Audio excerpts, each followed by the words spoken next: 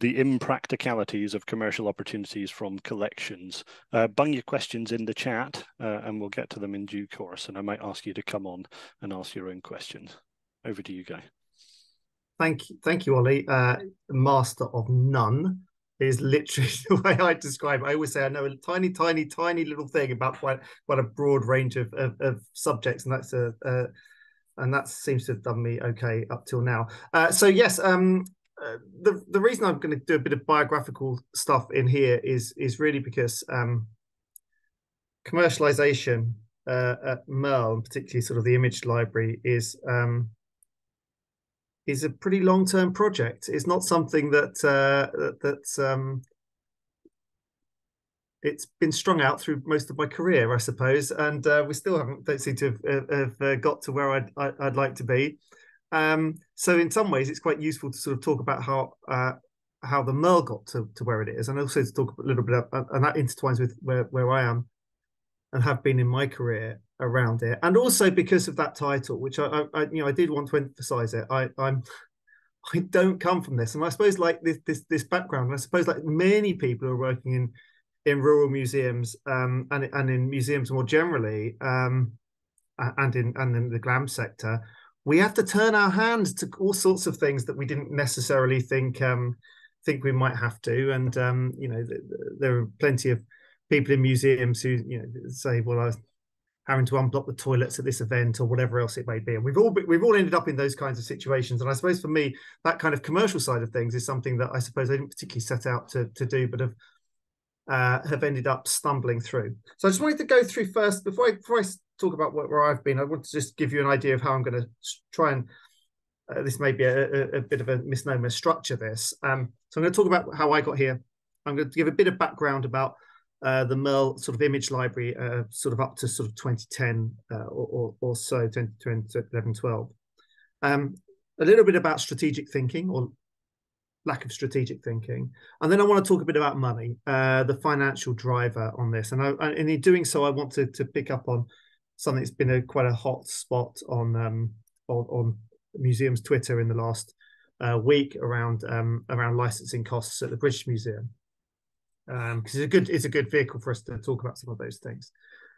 Then I want to talk about the other drivers, the, the non-monetary drivers around commercialization um, uh, and licensing.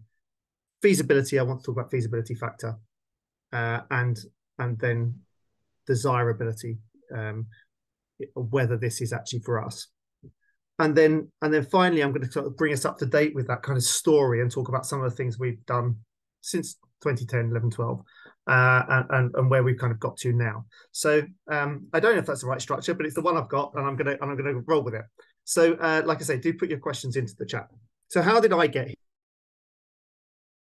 Run, run down. So this was quite interesting to reflect.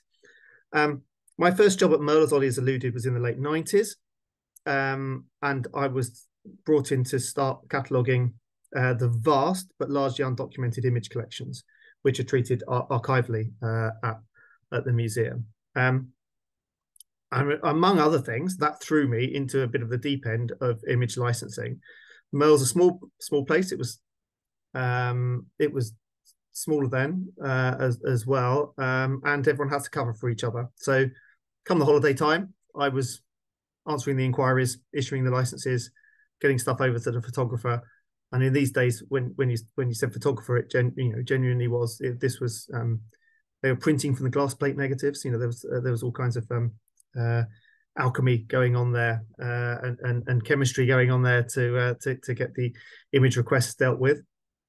Um, after two years at at the the, the MERL, um, and for those of you know the have known the MERL for a long time, that was in the old that was in the old buildings.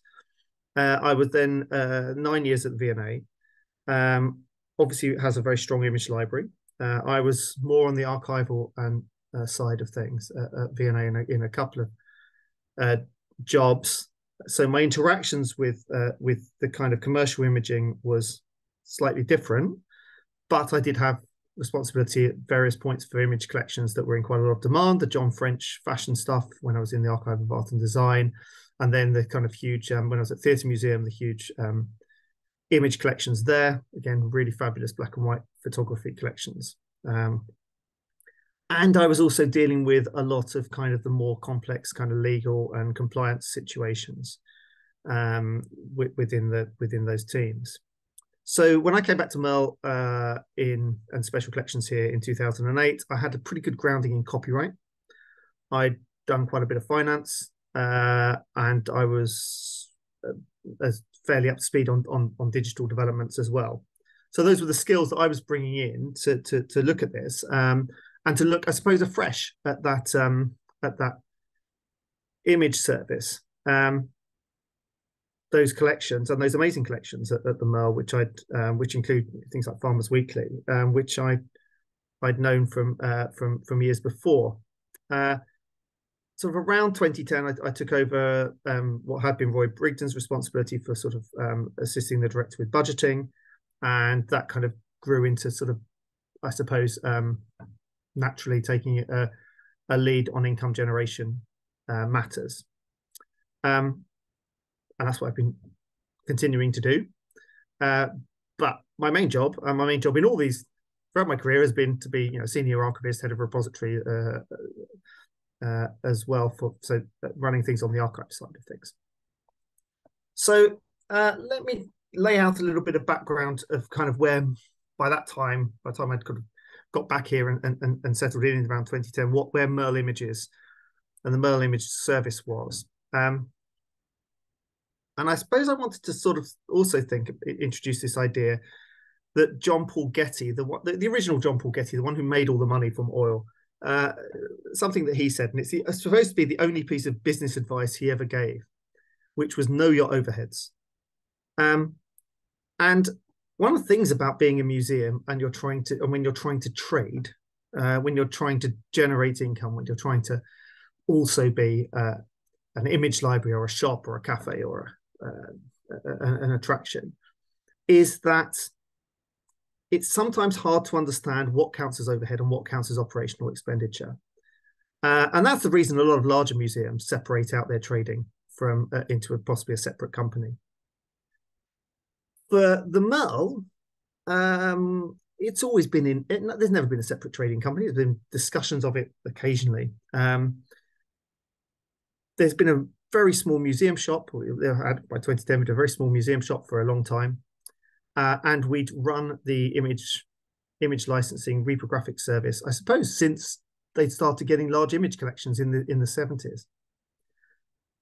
So our overhead in this situation was running the archive, running the museum, running the archive. Um, and when you do that, when you run an archive, when you run an archive and you've got up to a million images, people people ask for things.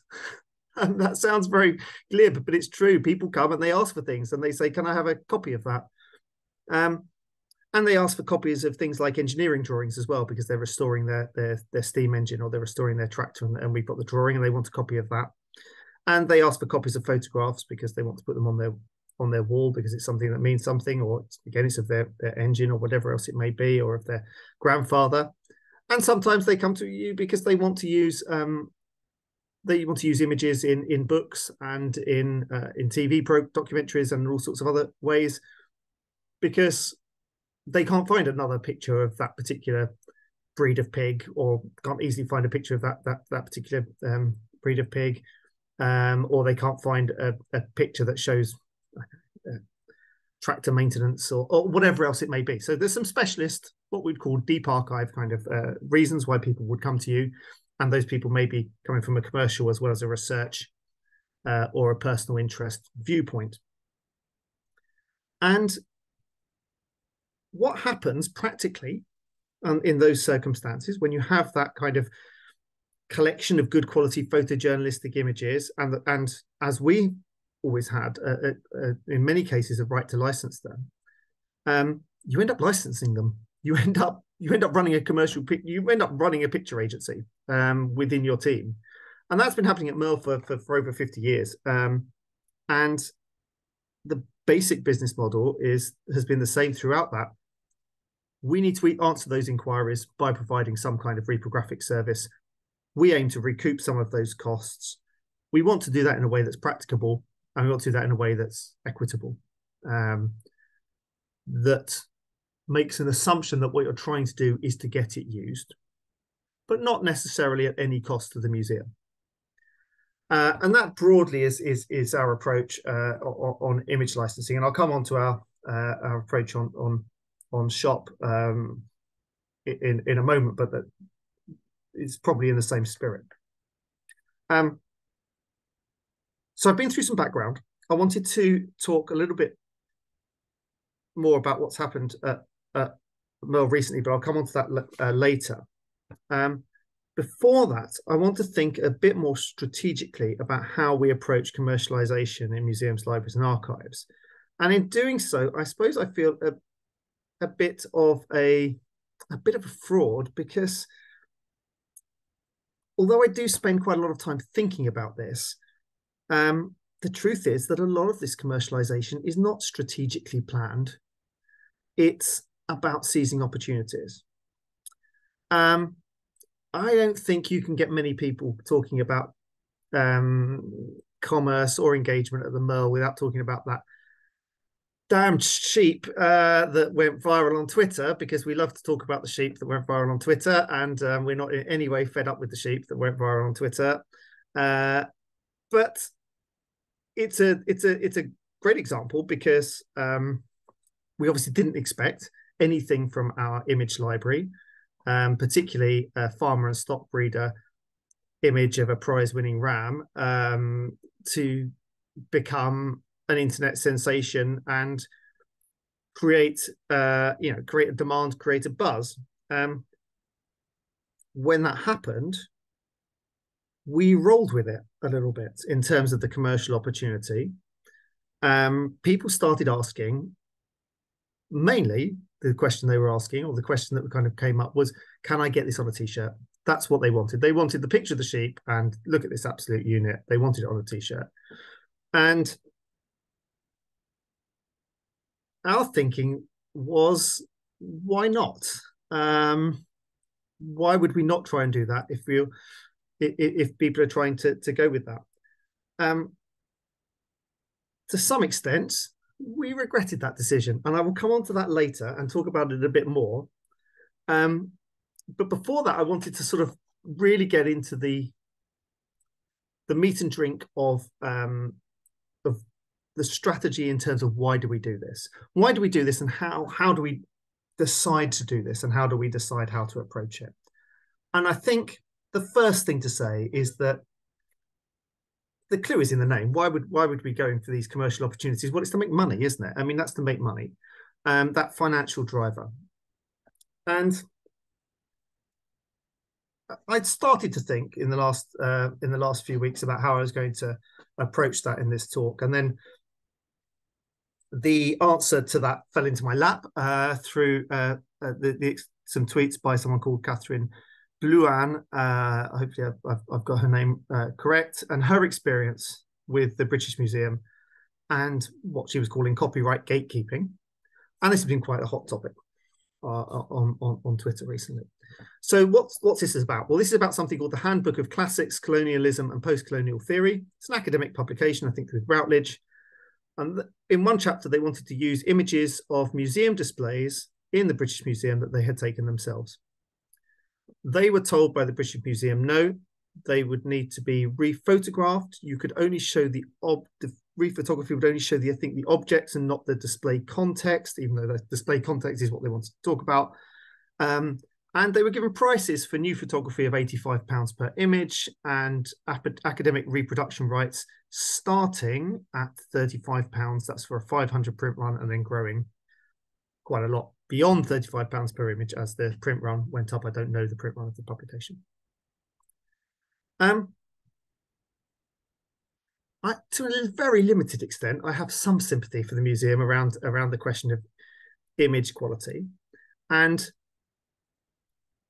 as you can imagine, a lot of the reaction to this has been, "It's a public museum; this should all be free," and I have some issues with that. At the same time, I don't think uh, I don't think uh, this has put museums into a particularly good light. I've seen lots of things going on. I saw some stuff on LinkedIn with people talking about this as well just today. So clearly it started a bit of a debate. And I thought, well, actually, let's have a think about how we would handle this. How would we approach this practically at the MERL, and, and would we get ourselves in the same situation? And, and, and from that, we'll learn a little bit about the strategy uh, in terms of how, how a museum might approach finance, uh, the, the financial aspect of this. So we actually we allow photography in our galleries, as the British Museum does, um, except for a few items that are in third-party copyright. Um, if someone then wanted to use that, we probably wouldn't do very much to prevent it. Um, I can't see us doing much to prevent it. However, unlike the BM, actually, our there's not our sort of commercial images aren't things that aren't mainly things that are on display. Most of our commercial image um, kind of um, assets are in the kind of deeper archive uh, and in, in stored collections. Um, so our more commercial co- commercializable images aren't actually ones that we've necessarily got out there. Um, if someone had taken a photo of something from the stored collections for research and then wanted to reproduce, um, and they and they approached us about that, um, or if they they'd taken that and signed a form which said, "I'm taking this photo for private study purposes only," which would be the normal thing to do. Um, then there are circumstances in which we would check uh, the quality around that. Um, and especially for books and TV, where what we don't want, we don't want a poor quality image of, from our collections going out there with our name on it, um, looking like we can't run a decent image library and provide good good quality copies of, of, of things in our collections.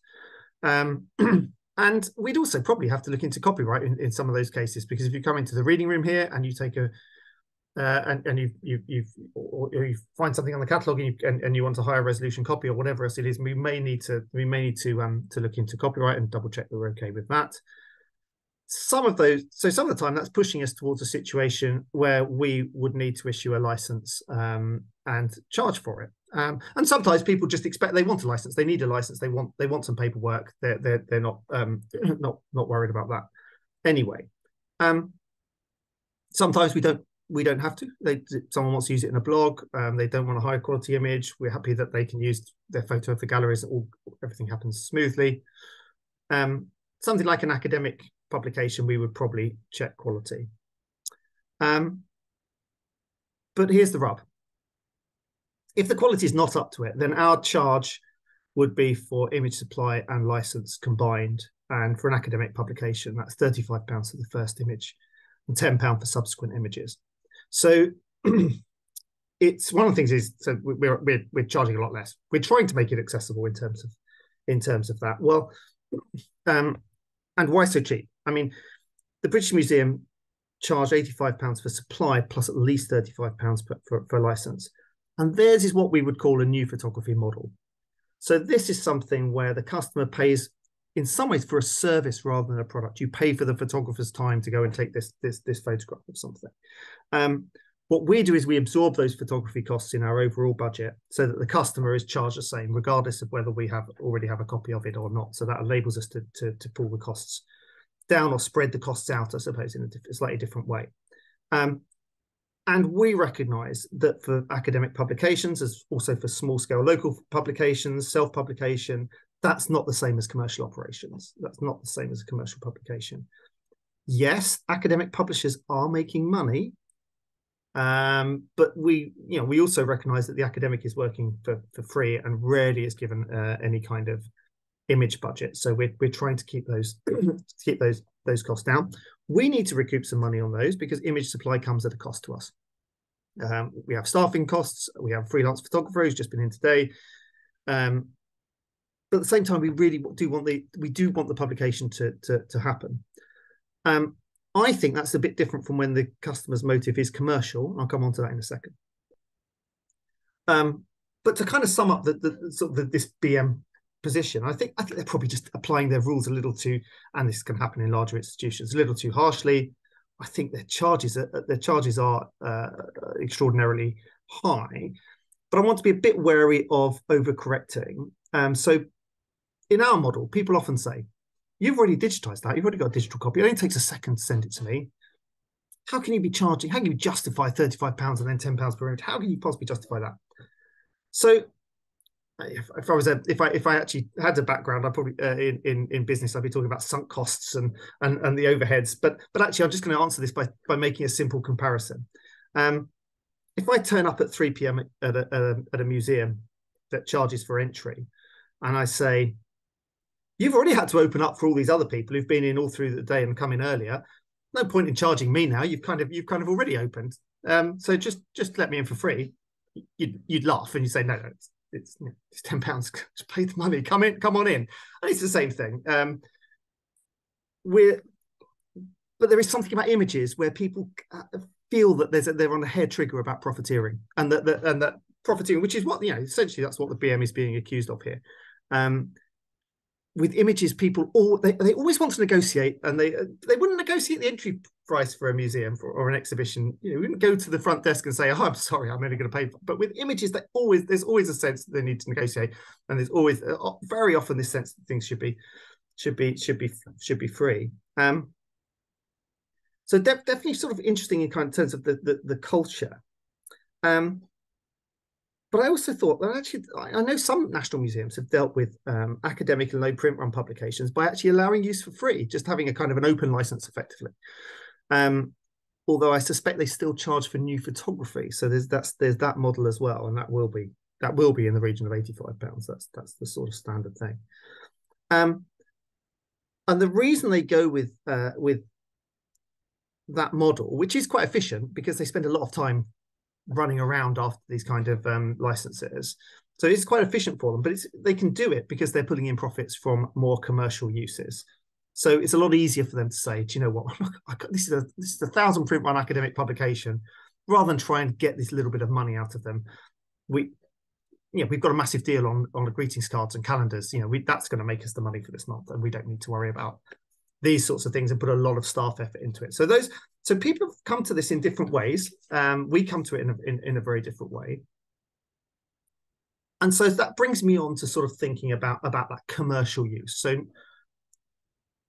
the the debate that's been going on has very much been about academic use, academic publications, but let's have a think about about commercial use. So my view is, um, and I think this is this is this is an approach that's um, stood us in quite good stead, but I'm aware that people may disagree with it is that if you're selling a product for money and if that relies on something in our collections, then we ought to at least be asking for a share of, of, of, of the profit because especially if we're bearing some costs around that. Um, but we're certainly bearing the overhead, aren't we? We're bearing the overhead of having saved those collections, cared for them for the years, made them accessible. So, uh, and the mile, there's also an element to which you know our galleries are free, access to the reading room is free. You know, you sort of reach a point where you kind of go, well, if we can't charge for that, what the hell can we charge for? What where what what are we able to make money from?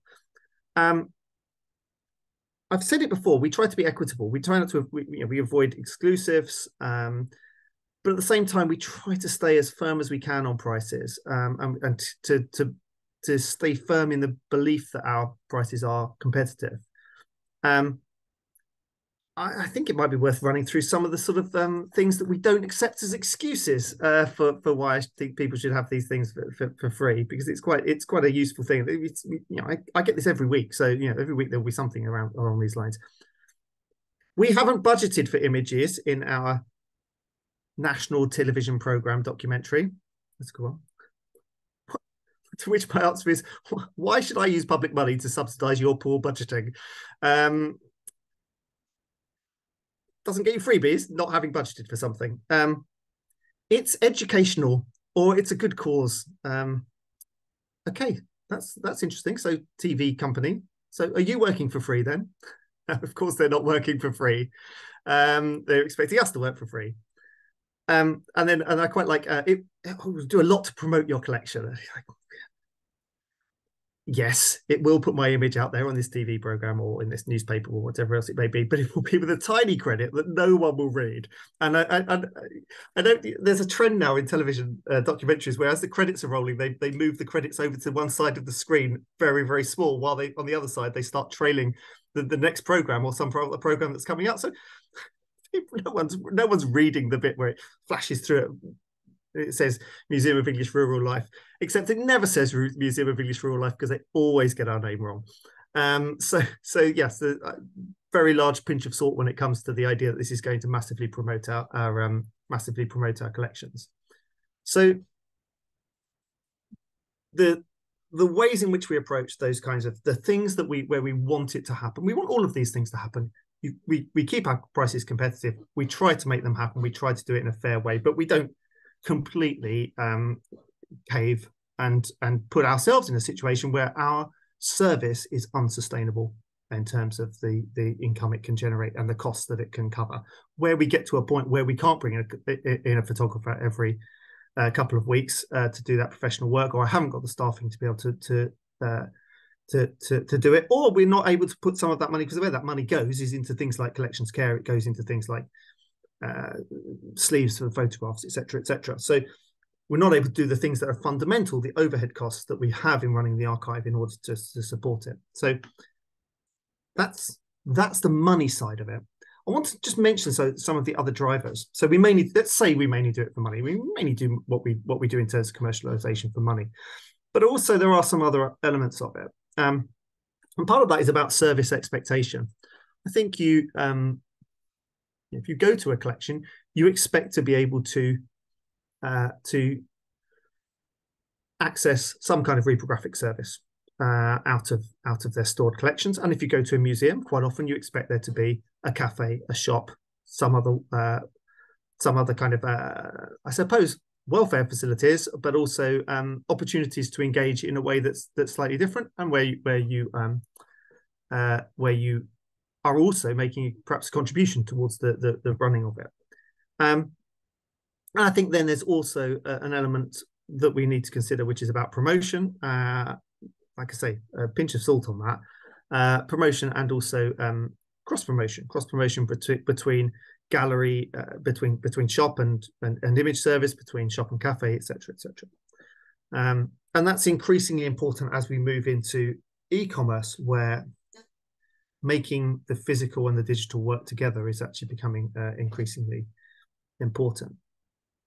So those are other factors that i think i think are, are, are, worth considering in the kind of wider commercial uh, efforts. I wanted to talk about feasibility though because just because we might want to make money doesn't necessarily mean we're in a position uh, to make money. And I'm aware that we, we're, we're, we're fortunate at the MERL. We've been running this service for a long time. We have um, a, a, tradition of running it, and and obviously we have collections that are in a particular, uh, a, particularly well suited to that um, in terms of both their copyright status and their the, the, the fact that there are large numbers of, of, like I say, good quality photojournalistic images that are hard to get hold of um, elsewhere. So, can we do it? Can a museum do it? What questions could you be asking yourselves if you're if you're thinking about this? Um, I think a lot of it is about really knowing your collections uh, and knowing their copyright status and making sure that there's a very well structured means of recording that status and keeping up to date that status. And, and, and, we've plugged away at that, and we're continuing to plug away at trying to to to to do that. Um, a key development for us around sort of 2012 was getting a digital asset management system. Um, at that point, we had about, I think we had about 40,000 digitized images. And uh, we'd only had a, a, a collections management system, uh, we use Adlib, uh, for a, about uh, for a couple of years, possibly even even less by that point.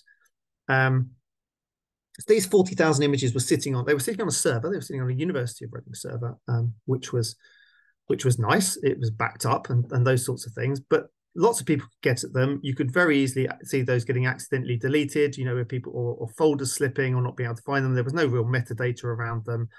Um, file naming was a little bit of a mess in places. Um, and so we, we managed to get uh, some, some funding to get a, a, a, digital asset management system. We use Asset Bank, um, which is used quite widely in the in the in the um, in the public sector. A lot of local authorities, for instance, use it, and that was a really um, a big start of trying to get some of those some of those things in order. The uh, the interesting thing is we now have over a quarter of a million assets on Asset Bank, including quite a lot of film footage as well as we've managed to, to get our film collections uh, digitized. Those have um, um, those have gone on there, and it's been really I, I, don't think we'd been able to cope if we were still just on a kind of a Windows file structure. I mean, it would have been it would have been absolutely crazy um, trying to to do that so people can search. And actually, uh, I, am not going to dwell on this because it's been said a, a, lot of times in other contexts. But actually, a lot of the social media uh, success we've had has been based on the fact that we have that pool of images that members of staff who are engaged, for instance, in social media, are able to um, are able to dip into, and that's how the absolute unit happened. Um, was was that kind of serendipitous, I suppose, discovery of um, of an image that they could then use, um, and where we'd marked it as having a copyright status that was suitable for social media. So our social media team knew immediately that they could use that uh, and did, and uh, social media team. I'm saying that sounds like a grand thing. MERL does not have a social media team. Uh, Adam Kazari, who was doing something else, but also doing the social media. Um, so that's so that kind of knowledge, knowledge of collections, knowledge of copyright status is, is really fundamental to your feasibility. I think it's important to know your copyright law. I think you need to know your copyright law at least well enough to be able to use things like this is always on my desk. Uh, I didn't even have to look for this. I knew that um, Tim Padfield's copyright for archivists and records managers fifth edition would be on my desk uh, because it I'm in it all the time. Um, so you need to be able to have enough copyright knowledge to be able to use works like that because I can't remember everything. But fortunately, Tim has written it all down, and um, and we can uh, I can I can. But you need to know a bit of where to look and, and understand the basics to be able to get through that.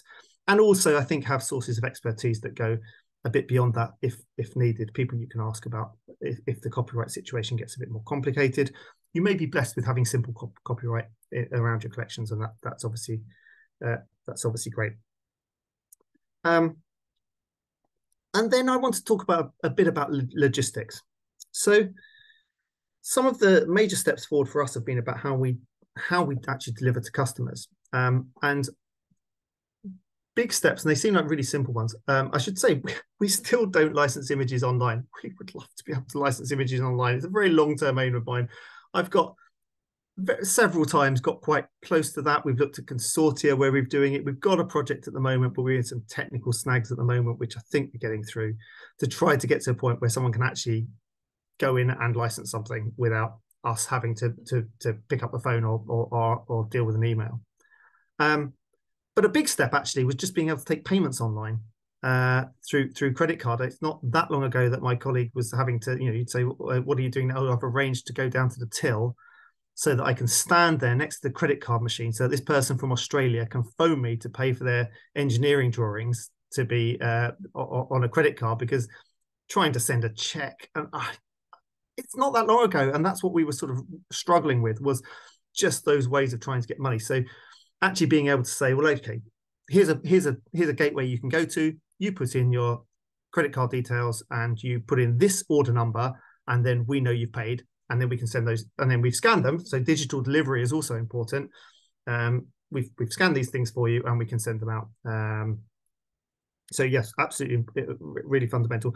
And then on on, uh, on our engineering drawing service, um, which we were we were getting the printing mainly done in house, and we managed to move to a drop printing model. So that's um, and we actually use the company that use um, they do uh, architectural plans.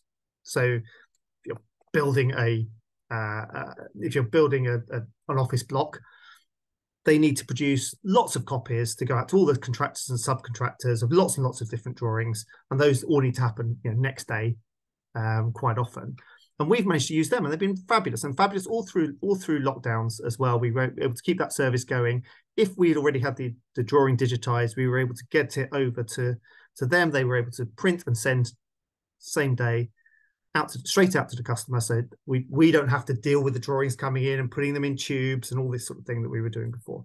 So drop printing really really efficient uh, enabled us to keep our prices uh, held at a particular level enabled us to um, to to uh, re- in fact reduce cost uh, postage costs. Postage costs have crept up again, unfortunately, but um, we were able to pull the postage costs right down. Um, in fact, I think we included them uh, for for a while.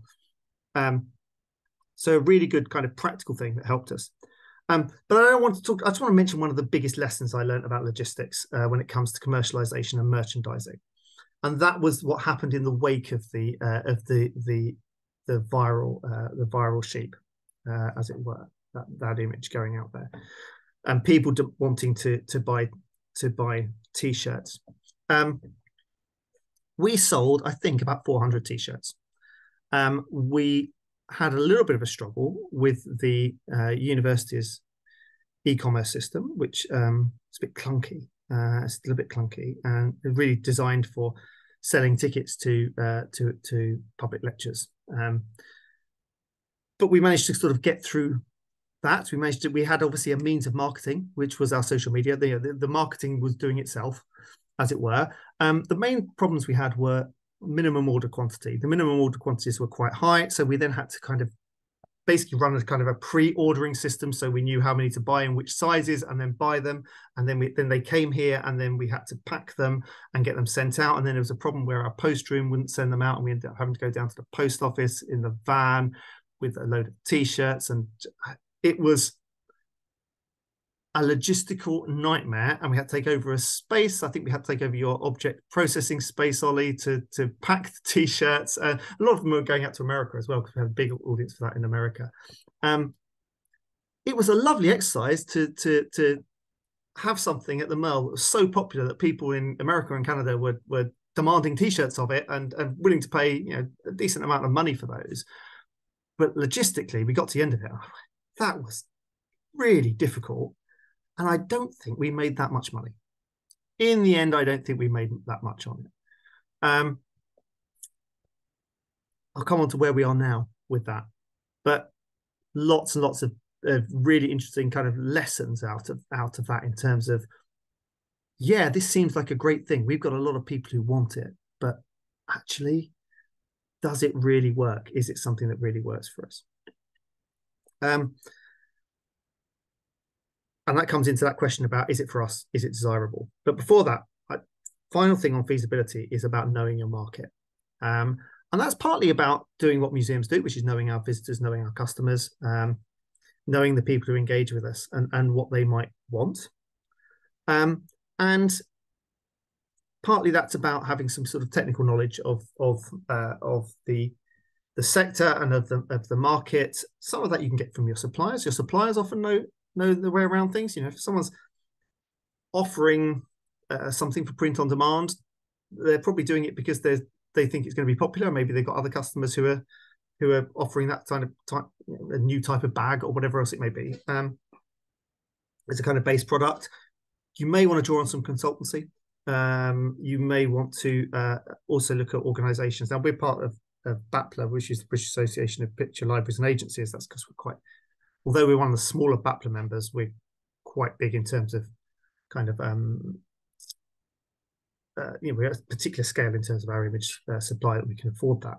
Uh, we're also members of Association of Cultural Enterprises, and they do do. They're, they're also they're, they're, perhaps a little bit more accessible, um, and they've over the years done quite a lot of work on picture libraries as well as museum shops, etc. I'm sure people know about the work that Association of Cultural Enterprises do but knowing your market is important and it's important to know your customers and in fact um, i think one of the one of the, the, the one of the things about desirability about this, this question of is this something for us is to say well actually there's a customer dimension to this if our customers want us to do this if they want us to produce t-shirts of things in our collections then actually that's something that we need to consider you know, as much as anything from, from an ethical point of view and from a from a stakeholder point of view.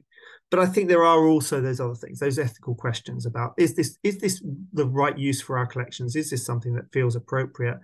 Are we are we um, uh, is this the type of uh, subject area where we feel that it's a, appropriate to do something that's uh, that's that's commercial, to do something that's uh, perhaps humorous, whatever else it may be, to do something that's uh, that are these the kinds of images that can be altered, whatever else it may be. Everyone's context on this is going to be to, to be different, and I kind of go back again to that kind of question about the financial drivers and how the BM approach it, how we approach it, how some of the other nationals approach it, where they make things free. But is that people often say to me, "Oh, why don't you do what they do?" It's like, well, they've got a completely different business model for the whole. Well, yeah, they do blockbuster exhibitions where they sell tickets, or they charge for entry, or they you know they've got a massive deal with Woodmansterne for cards. It's like yeah, I, I'm not in that. I'm in that world. We've all got our different contexts. We've all got our different. There's no right answer. There's a right answer for you. There's a right answer for your museum in terms of how you approach it. Um, so I'm gonna I'm gonna finish up by just um, talking about some um, some of the sort of ways things we've done since 2010 to get to market and and uh, and I think I probably said enough about um, about image licensing. Um, we just we just keep struggling to try to get to a point where we can actually license online and um, and and and take advantage of those of all that digitization we've done. Uh, take advantage of the technology that's out there. Um, why is it taking us so long? Well, I'd say there are probably two reasons. One is that we're working in a kind of a legal and technical context, which is uh, a large university. So we don't necessarily have the freedom to to to do things ourselves in terms of procurement, etc. So sometimes that's a, a, little bit of a barrier. Um, and the and the other is that um, we don't really make enough money. People sometimes come in and say, "You can make a million pounds out of these images," and we go, "No, we can't. You'll never. Yeah, don't be silly." So the bar the, the amount that you want to invest in systems, etc., is you don't want to do too much. Um, I think we found a good happy medium on that, and I think we the, the, the system we're going for, I think, is is is is okay, but you don't want to keep um, keep keep plugging away at that. The big change for us has been about uh, about print on demand merchandising. Um, I've mentioned before about with the t-shirts about minimum order quantities, and that is a this is a game changer. The um, and the way we came to it was actually not um, a lot of people were warning us off print on demand. So what people would say, particularly in that that that t-shirt um, uh,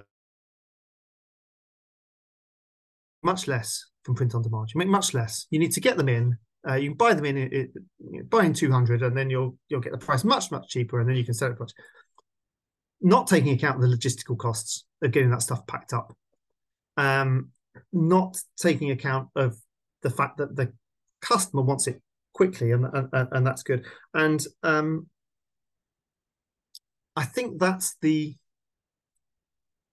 what, what we found was we we sort of stumbled into print on demand through Art UK, through the Art launch of the Art UK shop. We've been using Heritage Digital to, to to do that, and what we've also been able to do off the back of that is also to use to get them to actually give us some small quantities for the shop. So we've been able to bring together some of that e-commerce print on demand that runs essentially at the moment through the Art UK platform, uh, Art UK shop platform and bring that together with some uh, some of the what, what we can actually sell through the shop.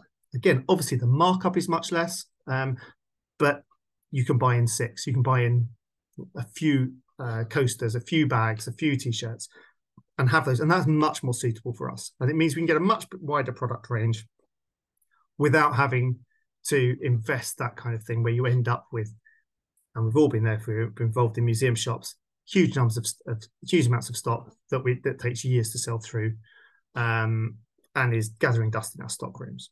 So, print on demand, big game changer for us. Um, we're looking at lots of different things that we can try to get onto those, and we're developing lots of of ranges, including Christmas ranges. Most recently, we, we did some stuff around Michael O'Connell's wall hangings, uh, the, the Festival of Britain wall hangings, which people who've been to the MERL will they've seen uh, seen seen those as, as very prominent uh, items um, because we discussed we, we we were aware that they'd gone out of copyright and uh, and also we're just doing some stuff on Huntley and Palmer's biscuits, which is technically from our special collections, but is uh, is closely related to some things around the local area uh, and um, and and an exhibition in, in the MERL um, and also our partnership with Reading Museum. So really nice to be able to do some of those uh, of those things.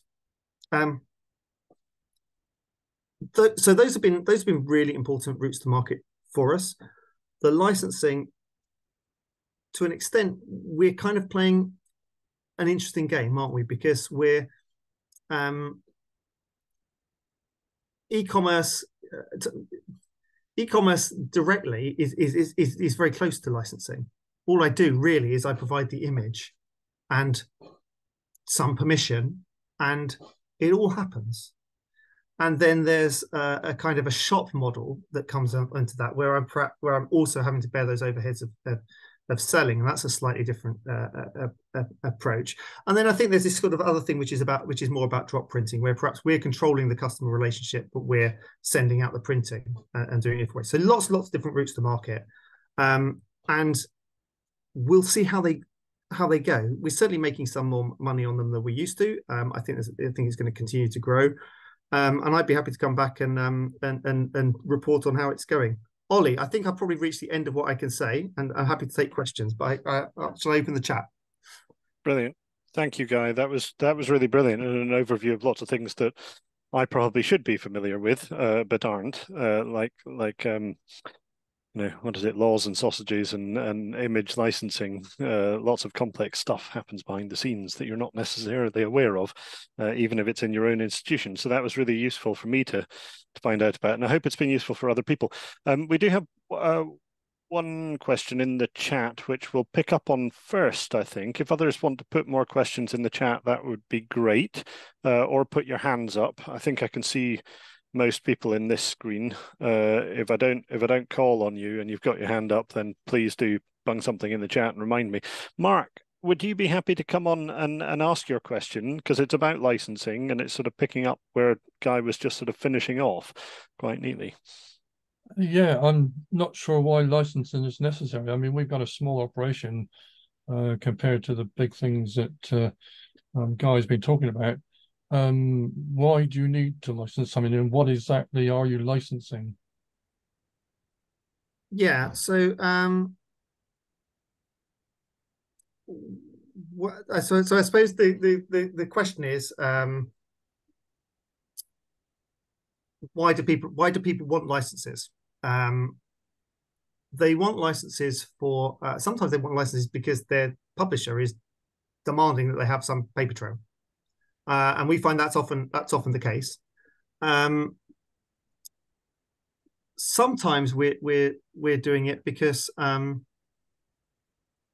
we like we need to we need to find ways to guard. Uh, and I'll, I'll make no bones about this. We need to, we we like to guard our high resolution images. So what we would generally say is if we've put an image on our website and you're happy to reuse that at uh, at a low resolution, and if it's out of copyright, the copyright is ours or, or, or whatever, then we're not going to we, we're not getting in people's ways. If you want that formalized, we can do that under a kind of Creative Commons way, but but generally people don't need that formalized. They just put it in their blog and they put it in their PowerPoint and, and whatever else it is, and it's at low resolution, so there's no real problem. If you want to stop, if you want to put that, say on a, if you want to produce merchandise or you want to produce or you want to put it in a television uh, television program, you will need a high resolution copy. And uh, because we avoid the uh, because we avoid this new photography thing, because we don't want to make make that our model, um, we need to recoup something for supplying that high resolution image. And when you supply the high resolution image, you want to say you can use it in this program. But by the way, this doesn't mean that you can just sell it on to everyone else. because if you don't put a license on it, you're not putting any restriction on it. So you're giving your high resolution copy, which has cost you money to to maintain, uh, say of a photograph, and you're allowing uh, and which is in, in demand, and you're saying you can use this for whatever you want, and you can use it for and you can give it to other people and let them use it for, for whatever you want. So a license is just a way of putting a, a wrapper around that and saying, um, well, actually, you can only use it in this program. And quite often with TV, they want to buy out. So they want to say we can use it in this program for all the repeats forever, and we want to put it on our on-demand platforms and those kinds of things. Um, there's a market for that. They always want it cheaper. They always want it less. Um, but that's generally where the where the license comes in. And for, for academic, you know, it's um, again you're, you're having to supply. They want they want a good quality reproduction in their books. So again, you just have to you have to issue a license just to put a parameter on that that says no actually you can't then go and put that on a t-shirt and and, and sell it on etsy so a license is about the clarification so i hope that was the clarity on that um, um uh, pick, picking up on that mark are you is, is, that a useful answer? Is that does that sort of cover more or less what you're asking or? Well i'm i'm not sure really. We like i said we got a small operation. Um basically is does that mean that any organization that owns photographs and has the copyright of them can be the person giving the license, or do you have to be registered in order to do that? No, a license is just a license, is just a permit to to to use something. So yes, you need to be the copyright holder or uh, have the permission of the copyright holder, or you have to um, be doing it on some on on on what would, or you're doing it on what's called a no warranty basis. So if you you say, well, actually, I'm going to allow you to have a high resolution. You may only use it for these purposes. However, you you there may be some other copyrights in it that we don't know about, and you and you warn them. So there is there are various ways in which licensing work. If you don't need it, you don't need it. I mean, you know, I think that I think it's it. I think once you go down the path of of of, um, of commercializing collections, I'd like to say, and I think particularly when you're when you're releasing high high uh, highly valuable high resolution images um, that are, are needed going to be used widely. Um, I think I think there's a there's an extent to which you have to protect yourself a little bit, and I think that's that's what I'd suggest. I think if you're putting if you're happy for, people for, for, for, people to use them, if there's not a lot of use, um, then that's where you are. But I would I would I would say to anyone, I would say be careful about your high resolution images. That's the that's the bit where once you've let that go, once you've put that out there, then um, then where do you um, you can't get it back. The genie doesn't go back in the hmm. bottle. And I think that's the that's the key. And people would say, "Oh, it's fine. We just we're just putting our high resolution images on Wikimedia Commons." And it's like, well, you've just said that you will never be able to to to to to make money off those, uh, really, um, and you will never be able to um, track their usage either. So you won't be able to get data back either. It's, for us, sometimes we want to know which publications it's being used in because that's actually really useful for us to report to funders. So sometimes it's not just about the money. With academic publications, it's not really about the money. It's also about actually knowing where it's been used and actually having that conversation with people. That data is useful to us. Yeah, I think I think uh, maybe if we have time, we might run a little bit over because there are some lots of interesting questions coming up. If we have time, we might come back to Creative Commons um, and and alternative paths that aren't about commercialization because that raises some interesting questions to do with some of the things you started off with about about the ethics. But there's a really interesting ethical question that Peter's raised in the chat. Peter, are you happy to come on and ask your your question number one? Yes, um, by all means. It's just that I wonder in this talk about commercializing the material that museums have, whether you had any thought about what the people who donated it would think about that as a concept. Maybe some would be unhappy about it. Maybe some wouldn't be. I don't know. Yeah, uh, no, totally, Peter. I, mean, I think you know. I think when when we when I talk about the ethical ethical dimension, the stakeholders. I mean, the the past stakeholders, the the long ago donors are are are part of that. Um, I would, I, I mean, in, in, in the question you put in the chat, you've said access to their donated material. I've never charged for access. I will never charge for access. Um, so if you want to look at the photo, photograph, um, uh, come into the reading room, look at it. Mm. If you want to, uh, if you want to have a, uh, in terms of in terms of remote access, where we have the right to give that, and the and the copyright is not controlled by someone else, um, so if you take most, almost all the objects, for instance, object collection that Ollie looks after within the Museum of English Rural Life, low resolution version of that, accessible on our website, on our catalogue, no problem with that. Absolutely no problem with that. So access, I don't know. I don't think I I, I would argue I'm not charging for access. I think um, I think there's a there's a line. Um, you know, do I have to provide a 3D video of every object, you know, for free? I mean, you know, what what what what where does our obligation in terms of access end? I think is an interesting question. But I would say we I would I would say we you know I don't I can't I don't charge for access. We're freedom of information body. We you know, we we don't we don't we don't do that. But that use that use that mm. onward use that commercial use in particular that's a slightly different thing. I think so. Um, but but but we often say we're always very upfront about about things when we have donations of archives. We would say um, you know quite often people will have that open discussion about um, about how we operate. So with current donors, we're always having that, that discussion about how how we, we would normally operate in terms of in terms of um, use, and they may well be the copyright holder, so they may have particular concerns about it. I suppose what just just come back on that very briefly. I suppose what I feel is that in terms of access, you think of it as someone driving or walking to a museum, going through the entrance hall, and then looking physically at objects.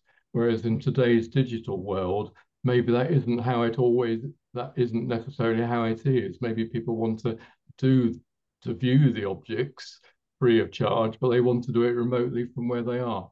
Yeah, so our virtual reading room um, has on it, uh, I think, 50,000 images that you can look at um, free of charge. It's registration. There's a registration wall on that. Um, so you need to register for our reading room. Um, I think, uh, and, and on our, just on our, straightforwardly on our object catalog, um, all almost all the MERL objects, so those that are within, um, that, that don't have a copyright implications for third parties are um, are available. So I would say we do a fair bit to make I would say we do a fair bit to make it accessible. I would also say that there's there's a kind of a there's a loop around that around um, that commercial use because and that TV use and that editorial use, which is that yes, we're charging for it. By charging for it, we enable that service to operate. We enable us to be able to go and find the picture of the particular breed of pig that that particular book or that particular program is after. We have the resource to do that uh, and to help with those because of our charging model. And that then is how those images get used in those programs and, and, are used editorially or in those books and get out there to a wider audience. So I'd argue that it's also, um, you know, if we if we don't have a sustainable model, financial model for for for making things accessible to that to the to the media, then we won't make as much accessible to the media, and that's actually that's that's reducing access. Um, that's reducing that ability for people to to engage with things that they didn't know they wanted. There's a difference between the person who knows what they want and says, I'm going to look on your website, I'm going to search your catalog, I'm going to come to your museum, I'm going to inquire, and the people who didn't know anything about it and just happen to flick through on their TV and stumble across a documentary where, or, or, or see something on Countryfile, we do a lot for Countryfile, um, and, and see that image and, and, and have engaged with it with no idea that they were going to do that. So I think I, I think you could argue that, that that being able to maintain a service for the media is a useful thing. Um, we've run we've run two minutes over. We've got more questions. Guy, are you happy to stay for a, a few minutes longer? Um, yeah. Obviously, if anyone needs to go, then thank you for coming. Uh, I think we're still recording, so hopefully the rest of the chat will be recorded uh, and and captured, and you can come back and and pick up on it. Um, Dan's just made an interesting comment in the chat about copyright and copyrighted items and them being viewable on site, but potentially uh, access could not be provided online. I think that's uh, of critical interest in relation to the VRR, our virtual yeah. reading room guy. So that's that restricted space where we do provide access to some copyright items online, um, but that's a sort of complex area. Maybe again we could come back to that. I wanted to follow up with a very quick. Um, question that's sort of ethical of my own guy just because that one of that first one of peter's was a sort of ethical issue inspired by the Coutts Farage controversy, if you remember uh, Farage's bank account being taken away from him, um, and and focused on sort of uh, this idea of commercializable and licensable holdings of a rural nature do you think we should be practicing due, due diligence around how people use our holdings? I know we have some questions that we ask about the context in which they're going to use them, but we don't necessarily ask questions about precisely how they're going to use them. And I'll I'll just give you a hypothetical. If if people for the ethical treatment of animals uh, requested use of an image that they then used in a way that was sort of misleading about the ethical treatment of animals in the contemporary context, when actually it's drawn from an historical context how would we how would we deal with that? Have we ever encountered a question or an issue like that, and is that likely to become a bigger issue in the future? Yeah, uh, I mean, we're right up against we're right up against the, the the, the freedom of speech on this, aren't we? And we're right up against the kind of equitable access and that equitable, um, you know, to, to to an extent against the kind of um, equitable reuse of public information. And I think there's some so there's some quite complex legal issues around this. That the the the truth is that um, it's the kind of mechanisms that you can put in place are pretty crude. So some some of the sorts of terms we do is we say uh, sometimes we're saying things like your use may not be unlawful or obscene or um, uh, libelous. Um, I don't know whether we'd want to put misleading onto that. I mean, that seems that feels like that's a yeah. much more harder thing to kind of define in a legal document. I think that that causes all kinds of um, difficulties. I can completely see where it's coming from.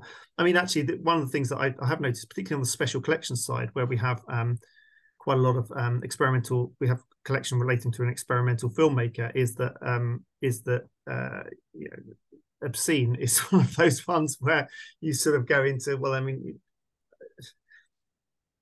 it's, it's a, it's a experimental film with a lot of nudity. And yeah. uh, you know so you're immediately into it into one where you're going oh actually i think this is probably um you know one one where you think I, yeah. I, i'm not quite sure where the line is drawn on that one. So i think i think you've answered my question there the answer is the licensing. So coming back to mark's question it's it's sort of about the way in which you issue those licenses and that sets parameters for what you as an institution think is appropriate and acceptable use of that content and that material that you're holding in trust for you know for society. But you know it, it may not be all encompassing but at least it's it's and i think harder for a public body probably than for uh than, than perhaps for a private institution. A private institution can say actually do you know what? I don't like these i don't like what these people are doing and i'm not going to license my image to them. I'll take the i'll take the hit commercially. Harder for us probably as a public institution just because of how we're approaching those kinds of um because yeah. there, there's an alignment between the kind of the ethical and the and the and the regulatory. Um, Peter, can I ask you to come back on and ask your your question number two?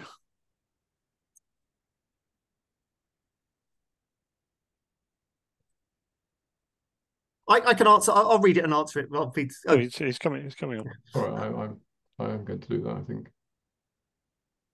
Right, share screen. Okay. Uh, so this, I think you're jumping to your third question, which is about sort of explaining what you do and the differences. Is that right? You, you, say your use is neither academic nor commercial, but it's not for your per personal use either. So when we say academic publications, the same rate, rate would apply for probably for small scale publications. If people are using things where they don't need a high resolution image, we'd probably be allowed allowing that under a sort of a Creative Commons uh, approach. So uh, I don't know if that's helpful, but um, yeah, put... when I say academic, that tends to be uh-huh. yeah small scale, self published as well, whatever else. Okay, yes. Let me just put another thing. The reason I didn't put this on was because it was a bit long, and I but let me put it in three bits, and you can see. Okay.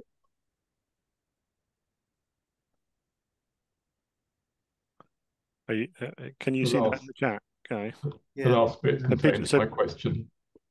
So Peter runs a website and a Facebook group, 750 members, about the history of Express Dairy. He's doing a chewing the cud session, which I should have promoted, Peter. Apologies for that, but mm-hmm. promotion in there now. Well done. Uh, and and that'll be uh, this uh, next month, I think. We currently have around 7,000 images, he says, and videos on the website, and it's expanding rapidly. He only started in March this year, so that's very rapid accrual of collections to rival the MERL, in fact, which didn't accrue its object anywhere near that rate. So that's really brilliant. Um, and he he started the project from his own collection of Express staff magazines and other material as he worked for them in the 70s and the 80s. Um, there have been many further donations either online through the Facebook group or in person, and he's travelled throughout uh, the UK collecting contributions and also interviewing people. Um, and he's also visited a number of rural museums.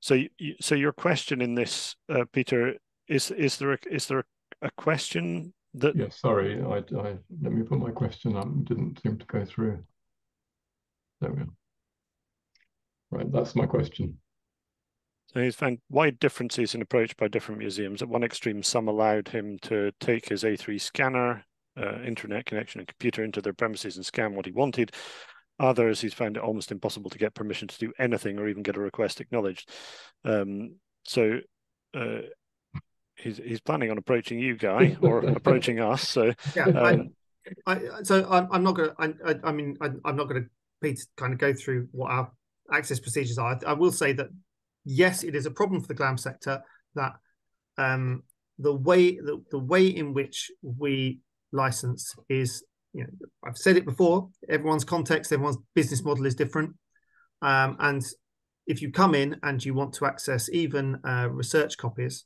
uh, the models that you will face will be very will be vastly different. So there are people that will allow you using your own equipment, probably not a scanner. I think I'd be I I the scanners are scanners are usually there's a there's a kind of think if there's books involved, people don't want to be putting things down on a scanner, but say using your own camera equipment, um, and everyone's got a camera on their phone these days. Um, using your own equipment, taking reference photos for private study purposes only. You'll find places that do it for free. You'll pay. You'll find places that charge you a pound an image, and you'll find places like us that are somewhere in the middle, where we make a we make a we make a daily charge for that uh, or a discounted weekly charge. Um, yeah, there's a lot of variation. That's to do with that's to do with business models. So what used to happen is there were there weren't people didn't have their own cameras. They didn't usually bring their own cameras, so there would be a photocopying service, and a lot of people that's built into their budgets. That kind of income stream is built into their budgets. So, um, just in my case, I, ha- I have no budget. No, sorry, into the budgets. Those are built into the budgets of the of the institutions. So, mm-hmm. you know, that's part of the the income that they that they they get to keep going. No, I mean we recognise that people people come in with very very different motivations, and mm-hmm. people come in with uh with with with with with when they're coming at family history. You know, they may have they may they may expect to uh, or, or, local history. They may expect to be uh, incurring some costs around that. Um, you know, ancestry isn't free. Um, and and so you know you're in a situation where if you want to get at the 20 uh, the 20 uh, 20 the 2021 census the 1921 census um, which has just come out you have to get so i have an ancestry subscription. I don't have a Findmypast subscription. So we decided my wife and i to go up to the national archives and um, and we made the decision to go and do those. Well we were looking at some other things anyway and do the and, and look at it on the free terminals there. So people are making decisions about how they approach those things and the institutions are making different decisions and putting in different models. It's very very complicated. Is there ever going to be a one size fits all is there ever going to be a consistency around that? I don't think there ever is because can, i think can i ask you something on that guy? Can i pick yeah. you up on uh, i know we've run it again slightly over time but one last very quick question. You mentioned at one point something about consortiums is there scope for something that operates across rural collections? Is that something that you can envisage? You obviously have good relationships with other photo archives that are very successful uh, in the rural space and place, you know, context. I mean, is that something that you could see happening successfully? Uh, yeah, it's not not easily. I mean, uh, you know, uh, the consortium work that we did, I'm really, it's a shame we didn't get off the ground. It was, it was museums that were, you know, that that were, and and, and archives that were quite a big scale um, but still had not managed to get um, online licensing in place. And the reason they hadn't got online licensing in place is because they just weren't making enough money out of licensing to justify the investment. But together, maybe they could. We never got it off the ground because we just couldn't get over the hurdle of the technical costs and um, various other things. But that was, um, yeah, I think there will. I think I think they, they, they, there will be. I mean, there are. You know, Art UK is already a um, yep a platform that, that, that, to some extent fulfills that role, and, and that was it. Kind of came at the right time uh, for us in terms of that. But obviously, it doesn't have a complete remit for for social history collections. It's only it's only art, so we've only got a limited amount that we can do with with that. I think there is I think there is scope. Um, I almost wish I had the time and the energy to to lead a project on that, um, but uh, not quite not quite at the moment. I guess that's that's quite neat ending. And I think I don't know. I think Rural Museums Network in the chat is Rachel, but I'm not sure. But it, it, she's it is. she's yeah. No, a, from a very small museum's point of view. I mean, we don't charge. I'm I, i am a slightly larger small museum. Uh, we don't charge anyone if they are doing research on our behalf. I mean, we we can't we can't afford to do the research we want. So if we give them the materials um, that we hold, they can do the research, and as long as they give us back that research, then that's that's good enough for us that's especially community groups as well. So in terms of express dairy, maybe smaller museums, I mean, they their their collections won't be so comprehensive, but sometimes smaller museums do understand the plight of individual researchers a wee bit more. Sorry, Guy. No, Dan, I, we, yeah. we totally do. I think what we um what we you know we, we want those kinds of projects to happen. We, we we want them to happen. We we have a kind of we want people to be able to come in and, uh, and do that. Are there certain things we charge for? Yes, there will be. Um, but yeah, it's it's difficult. What do you get? What what is the work involved for us? I think is always is often the question. I think that's and and what what things are we able to charge for that we're also not charging for? So I think that there's always that kind of there's always that balance for me that kind of says, well, you know, we do a lot of inquiries, we do a lot of you know, we have a free museum, we do uh, that's slightly in the background for me, and I think that's the thing about business model is that if everyone's got a slightly different way. Everyone has to everyone has to have money to operate. I, mean, I think one of the things that I would challenge generally is that thing where people say, and they say it to us all the time, don't they, in the cultural sector, it should all be free. It's not free. We have someone has to pay our salaries. Someone has to pay for the heating to be on. Yeah. Someone has to pay for the lights to be on. It's not free. What you mean is we're all going to have different ways in which it's paid for, and I think that's the I think that's the the, the interesting thing. We all slightly drawing the line in different views, and I think from the customer that point of view, that's very complicated, and I think that's uh, that's a shame. But I, can I see it changing? Not really. And you can see that neatly in the chat from Dan's response to to Rachel's comment, which sort of puts the the opposite that actually, you know, there, the, there's a cost benefit to, to, to different models, and in in his context, he can't he can't facilitate that staffing to allow people to digitize themselves because it it you know it's too impactful on the rest of their service. So it's the kind of counterpoint, isn't it? So I guess uh, you know, watch this space in about 10, 15 years time, maybe we'll have persuaded Guy to manage all of our uh, digital collection, collections and assets for us, and uh, and and it'll all be his worry rather than ours. Um, a quick reminder, and the money before... will just flow in. You just need a bigger rake to rake the money in. I'm sure. That's... Yeah. Uh, before we thank Guy and, and say goodbye, a, a, very quick reminder that we've got Thursday, the 2nd of November, Food for Thought. Uh, that's the next seminar. And then Thursday, the 7th of December, the Contemporary Collecting Attractors. Um, and then we've got Peter's chewing the cud coming up and another chewing the cud, and I'm having uh, trouble remembering which because I've got too many ethical questions about images that I've shared inadvertently and done things with in the past that I'm probably going to get in trouble with Guy about. Um, but thank you very much, Guy. That was really helpful, and and and and I hope if if people come back to me with questions uh, via the network that I could bounce those onto you, and maybe we could carry on this discussion in other ways as well. Um, so thank you, brilliant.